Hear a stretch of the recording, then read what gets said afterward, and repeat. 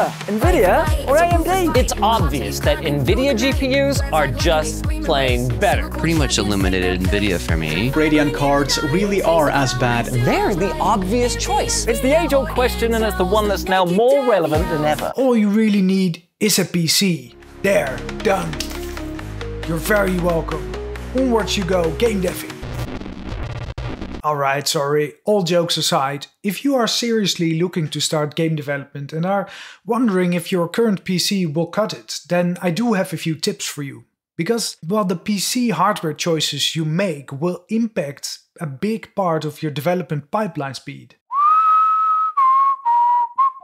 Now, I was the designated person to build a new, upgrade, maintain, clean, and fix all the PCs of my previous company. So, I'll first talk about some of the experiences I've had with the many different brands and kinds of PC hardware that I used over the last 10 years. First of all, I want to add a small disclaimer. I know there's this huge, never ending PC enthusiast flame war going on between the different brands. It's obvious that NVIDIA GPUs are just plain better. Game over. Mostly because there's actually very little choice in brands, at least for consumers. On the CPU side, you have red versus blue, AMD versus Intel, and on the GPU side, there's Team Green and Team Red, and a little bit of blue. Nvidia, AMD, and uh, Intel.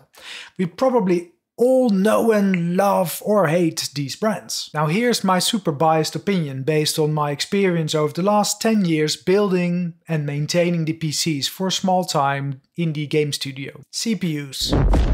I really don't like AMD CPUs. There, I said it. Of course, they are fine consumer based products. Apparently, they're even winning the gaming performance race, which is epic for them. But from a game development point of view, they lose. Now, I, I hear you say, Uh, Dom, game dev is essentially building and playing a game. It even has the word game in it. So if AMD is winning the gaming performance race, how can you say you don't like them? Well, you must understand that the editor of a game engine like Unity is working at 200% the whole time.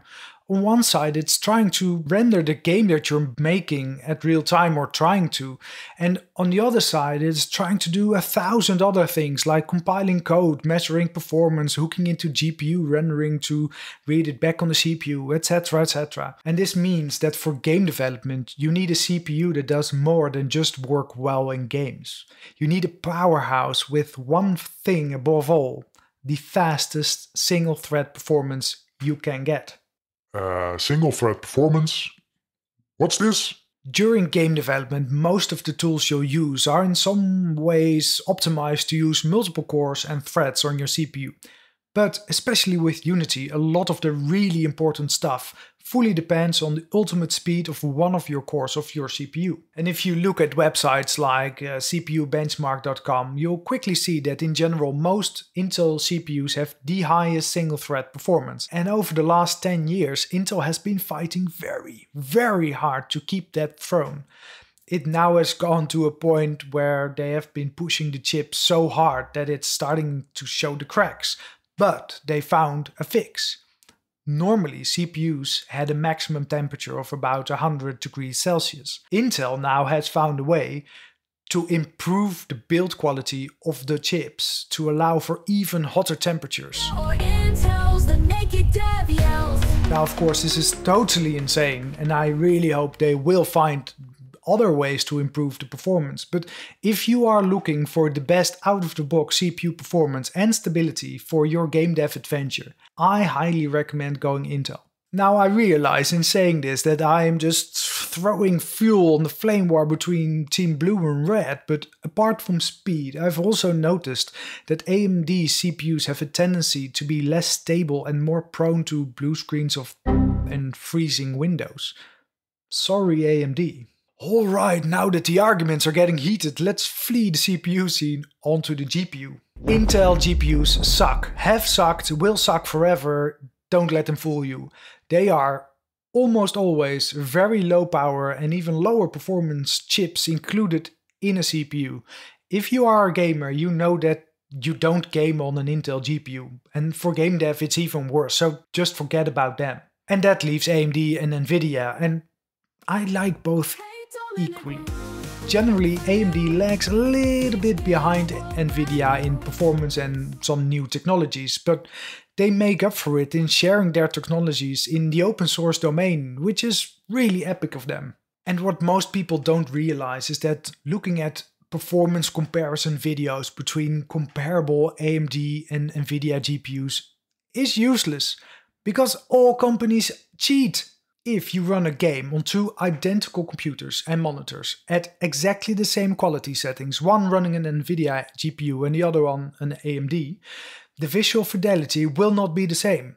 Now, you can't see this in comparison videos due to YouTube's horrible video compression, but it may be that Nvidia is lowering the texture resolution to stream in textures faster, gaining some extra performance, or AMD doing something with real-time reflections to gain 10% extra performance. So does it really matter which brand you get? I don't see a really big difference, so go with your gut. Watch the useless comparison videos over and over again. Pick one blindfolded. Whatever you choose, it's going to be just fine. Memory time. I really don't care about any memory brands or whatever. The only thing you have to worry about is that some memory is specially developed to work best with AMD CPUs and the other ones for Intel.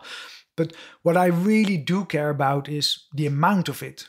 And for game development, you can never have enough. And I can't stress this enough. You never have enough memory. I have 64 gigabytes of RAM and I run out of it easily, almost once a week. I'm seriously thinking about upgrading to 128. Now, there are a lot of other things that you have to think about when getting or building a new PC, like a power supply, motherboard case, fans, etc.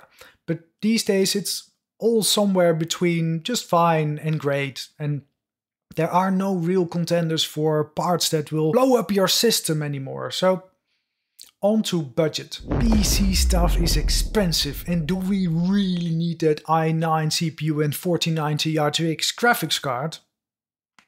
Probably not, no. For CPUs it's generally pretty easy. We already know we need an Intel CPU and they come in four flavors. There's the i3, which is the most budget, followed by the i5, then the i7, and lastly the flagship, the i9. These four flavors are again subdivided with different performance versions. Now, if you take the fastest version of each of these four flavors and test their single thread performance against each other, you'll find out that they're actually pretty comparable. So I suggest to always pick the fastest version, the one with the fastest clock speed in gigahertz of each of those flavors to begin with, because in price they don't really differ that much. Currently, the biggest difference between the four flavors is the amount of cores they have. The fastest i3, for instance, only has 4 cores, while the flagship i9 has 24. In Unity, there are only a few times where more cores is better, so most of the time a CPU with four or eight courses plenty. Personally, if I were on a budget, I'd go with the i5. As for GPUs, on a bit of a budget, I'd always go for the current generation NVIDIA 60 version, so in this case the RTX 4060. Or if you'd like to go with AMD, its equivalent, the RX 7600 XT. And then pump all the money you have left into getting the most amount of memory you can get. I highly value amount over speed. There really is no slow memory anymore. There's only not enough of it.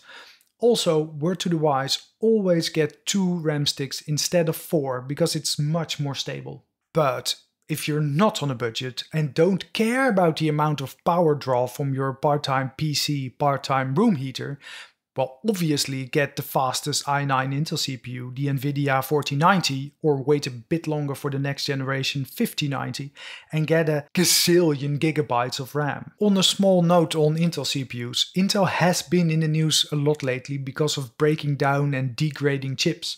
And this is definitely no fun. I've had the same issue with the CPU of my PC as well, but they fixed it with BIOS updates, and I can confirm that it didn't hamper the performance in any way. But even more importantly, and this is very nice, they increased the warranty from 2 years to 5, which is something unheard of for PC hardware. Enough mumbo jumbo about RX 620s, R2D2s, AMD RTX crap. Go get your PC and go build epic games. Which reminds me, I should probably go do the same. Hopefully, I haven't fueled anyone's anger in bashing their beloved hardware company. Please like, subscribe, all you want, and hope to see you again next week. Silicon wars on the digital plane. The benchmark balance is never the same. AMD versus Nvidia, they clash. Intel's right there with the microchip stash. Bite for bite, it's a ruthless fight. Clock speeds